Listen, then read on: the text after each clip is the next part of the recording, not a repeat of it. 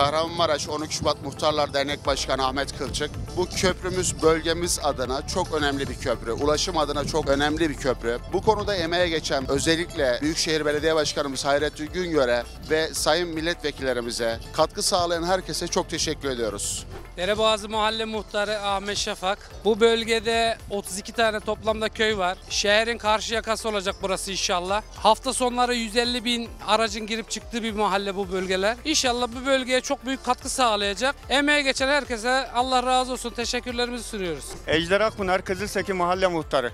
Ön sen bağlantı köprümüz çok yerinde bir proje. Bu ulaşımı bayağı bir rahatlatacak. Bölge mahalleleri adına ve şahsım adına emeği geçen herkese teşekkür ederim. Fatih Aytemiz 12 Şubat Hartap Mahallesi muhtarıyım. Bu köprüyle beraber şehre gidiş gelişimiz de 22 kilometre fark edecek. Hem zaman olarak hem de yakıttan çok büyük tasarruf yapacağız. Abdurrahman Tunuç 12 Şubat ilçesi Yeşilyurt Mahalle Muhtarıyım. Bu yol asrın projesi diye nitelendiriyorum. Çünkü burası Kahramanmaraş'ın karşı yakasını iki taraf birbirine bağlayan e, köprü ve yol projesi. İnşallah bu yol bittiğinde tamamıyla Adana yolunun büyük bir ağırlığını kaldırarak buradan Batı köylerinin giriş çıkışları sağlanacak. Büyükşehir Belediye Başkanım Hayrettin Güngör Bey'e çünkü çok emekleri var bu köprünün yapımında ve projelerinde. Buradan emeği geçen tüm arkadaşlara şahsım adına, bölge mahallelerim adına teşekkür ediyorum. Emeği geçenlerden Allah razı olsun diyorum. Olsun.